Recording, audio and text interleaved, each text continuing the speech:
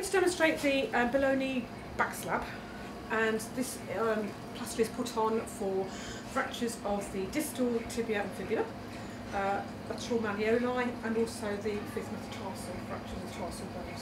So that's the reason why I put this particular plaster on. So it's important to make sure that you, the practitioner, is as comfortable as your patient. So one thing we're going to do is raise the bed, the chair that Max is sitting on to an appropriate level. So I want to make sure the chair's an appropriate height, that your patient hasn't got vertigo. You're right, I'm fine. Going up in the world.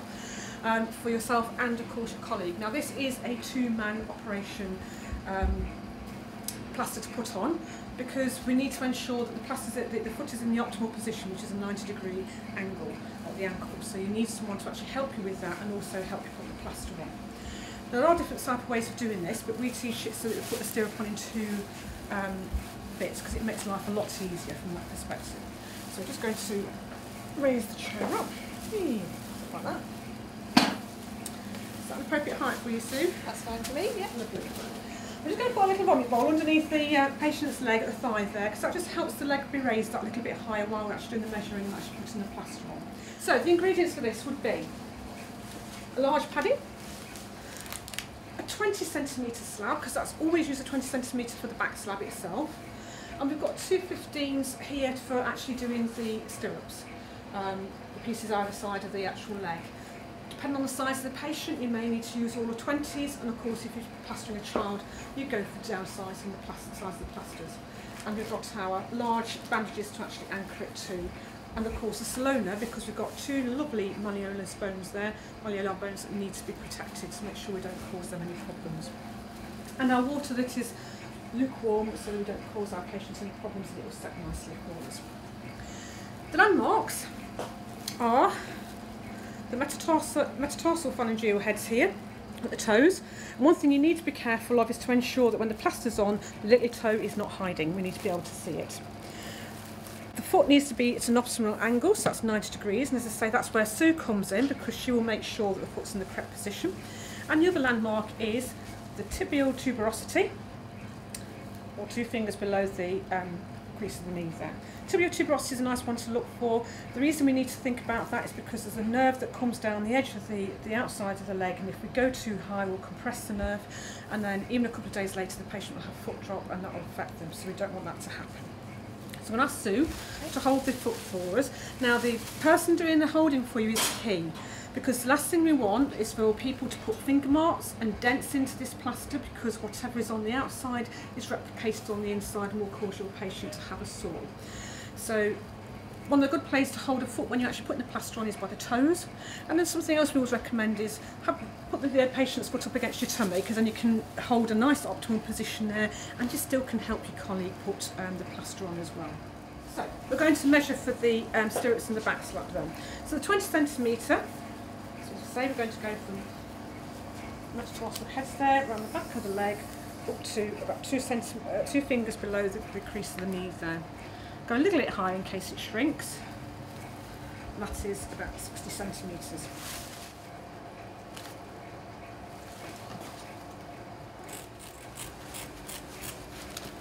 Okay, so that's my back slab some people were taught to put the stirrup on in one piece, going one from one side of the um, leg, all under the ankle, and then up the other side of the leg. That can be quite difficult to try and get that to actually stick to the plaster, uh, to the actual um, padding whilst we're doing it. So we have now actually started to teach people to put it on in two halves. Both the correct way. Um, it just makes life a wee bit easier doing it this way. So I want to go to just the middle of the foot there. 47 centimetres. I'm going to have a 15 centimetre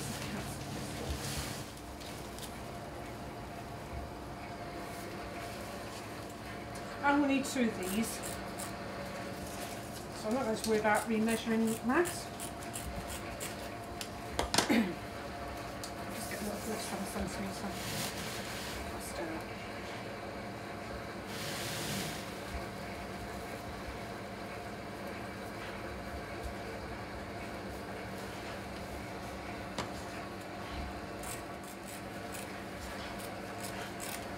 Right.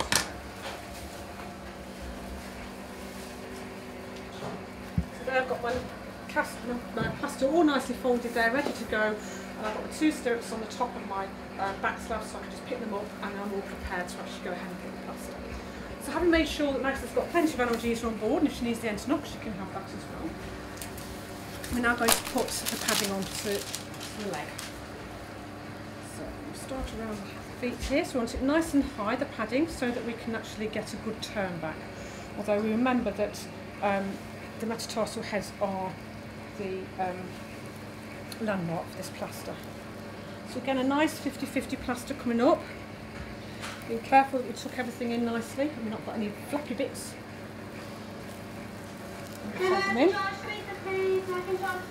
I got two of these out, but I don't think I'm going to need two for Max. Looks like I'm going to be okay with just the one. And of course we're going to go that little bit higher around the knee because we need to make sure we've got a nice turn back.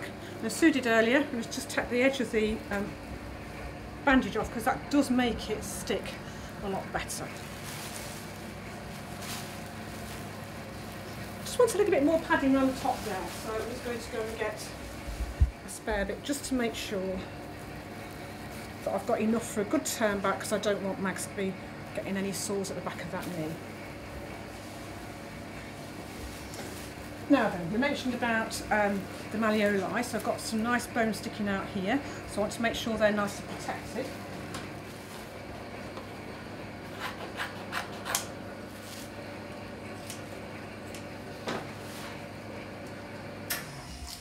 A larger one on the lateral malleolus, which is the larger of the two bones. I want to make sure they do cover the bone completely. It's no good putting it on as if it's just like a little um, baseball cap. It needs to be a nice rounded hat on it.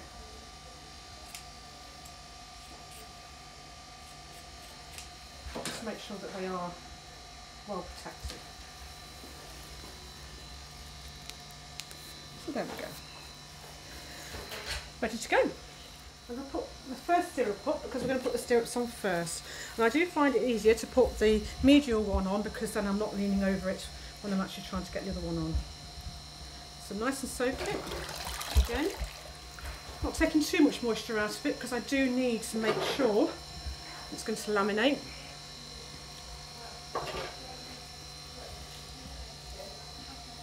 So going round to the bottom of the foot.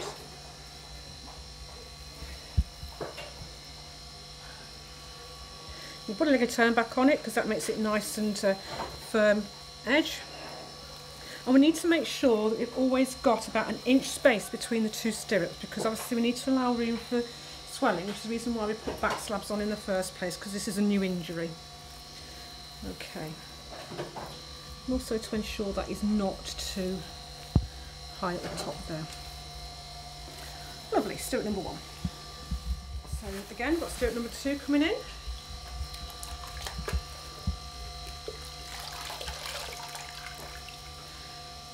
See, haven't put that one on first, I'm not going to be leaning over this one to get it on.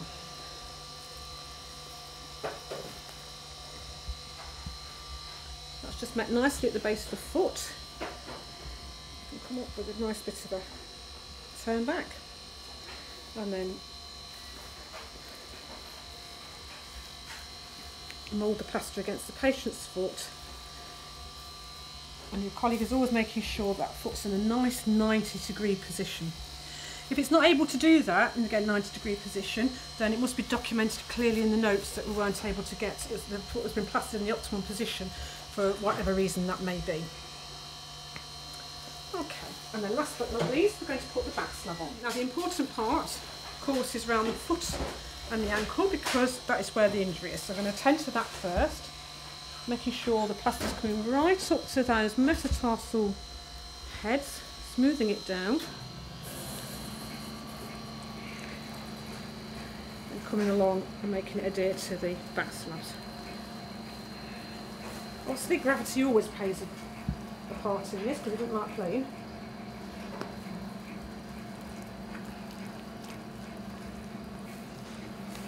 And of course this is where your colleague can come in nice and handy because they can help you out by moulding that plaster to your patient's foot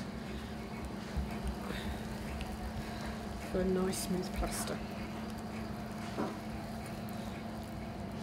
Right, bit of a chunk there, isn't there? Let's trim that off, shall we? strange how your plaster goes and shapes hmm. itself, isn't it? Guess what I to do? Right. Okay. So we turn, back to that. Down now. So we've got those edges nicely laminated together. And also at the toes. And yes, I can see Mag's little toe, it's not hiding. Of course, the bandages which should be pre-shrunk will now be opened and put into shrink. Well, it's always good to do that at the beginning of the plaster.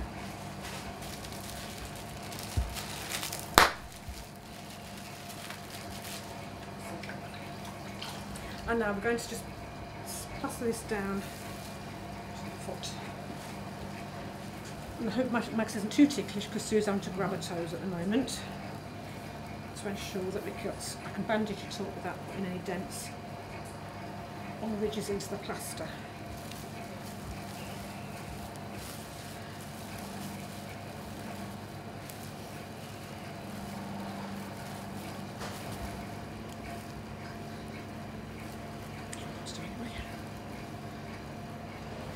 So there we go. And now we're just going to knock the bandage off. And we'll put the knot on the outside of the leg because we don't want to annoy Max or give her a sore on the other side of her leg.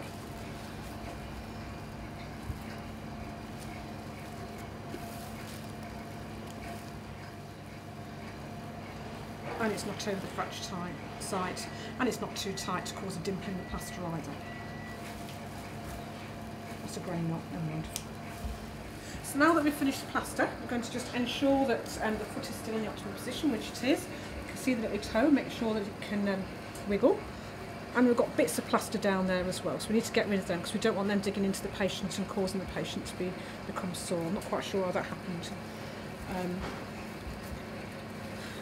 and as usual, we're going to tidy our patient up by, especially wiping the toes because Max probably wants to bend over there now.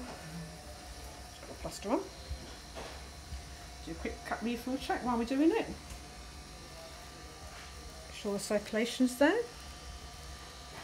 Can you wiggle your toes, Max? Does it feel like it's rubbing on your little toe? No. Feel supported? Yes. Good. And of course, this is going to take a little while to, to harden off, so we can't get Max to move just yet, because obviously this is a non-weight bearing cast, so Max will need to be given um, some crutches, but if she's been sucking away on the Entonox, she'll need a bit of time to recover from that. So we're going to take the, the well, hats out there and put, put some nice blankets, nice soft blankets underneath the leg because otherwise the plastic can flatten and it can cause an indentation into the, into the leg itself, which we don't want to happen. You can just bend your knee as well, Max, make sure that when you're sitting down, or that's not, that's fine, that's not digging in, that's lovely. Patients, when they have this plaster, will need to be advised that really this is a non-weight bearing cast. They need to raise it and rest their leg because we need the swelling to go down.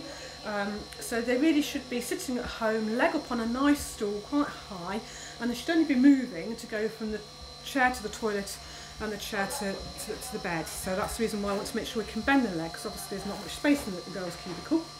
So we need to make sure that we can do that without digging in although really they should be resting it with the leg raised. We were giving our patients the usual fracture clinic booklet and we will be offering appointments in two, two to three days to come back for an assessment in case it will be completed. Um, again, we're not going to promise that, just say it's going to be assessment of the plaster to see if there's anything else the fracture clinic need to do. And we'll be advising the patient about the usual plaster care, i.e. let it dry naturally, that it's going to take 48 to 72 hours to do that. No putting it in front of the fire, even though it's a nice November night, because it's going to melt it. No using the hairdryer on it. To keep the leg raised when they're in bed on nice on pillows. And yes, your bed um, clothes are going to be damp in the morning. Not to soak it in the bath or to go having a shower in it because it's just going to disintegrate and fall off. Um, not to put any weight through it either. Unfortunately to bear with the actual itching so there's no um, knitting needles or rulers down there and again don't put anything down it either um, because if you get any foreign bodies down there, any coins or beads or anything you need to come back and have it replaced. Okay. We'll advise Mags about doing certain um, exercises like keeping the toes moving and bending her knee because the last thing we want Mags to have is a DVT, which is a clot in the leg. So we give Max the clot the, um, and go through the DVT information sheet because she's got um, a below knee back slab on so she understands what a DVT is and the risks for it and how um, we can reduce the risk of actually developing that And then of course Thank you. Once she's got over the effect of the Entonox and, we can, and the, the plaster's hardened off sufficiently, we can then issue Max with a pair of crutches and ensure that she's safe um, to mobilise before leaving the department. When we do any plasters in the, in the department, uh, we do our notes and we've got these lovely little pink stickers in that we can pop into um, our notes. That can be for any plaster we put on. So we put, and it's always important to say who applied the plaster and who assisted. So in this case it would be Pam Wood and Sue Thompson that have put the plaster on. If we've given crutches out, which of course in this case we would do, DVT booklet's been given, if we've given a completion uh, appointment to come and the green form, i.e. the referral um, form to fracture clinics actually in the notes, so the receptionist knows to photocopy the notes and put a little sticker on the front so they can go out to fracture clinic and they'll be expecting the patient in a couple of days' time.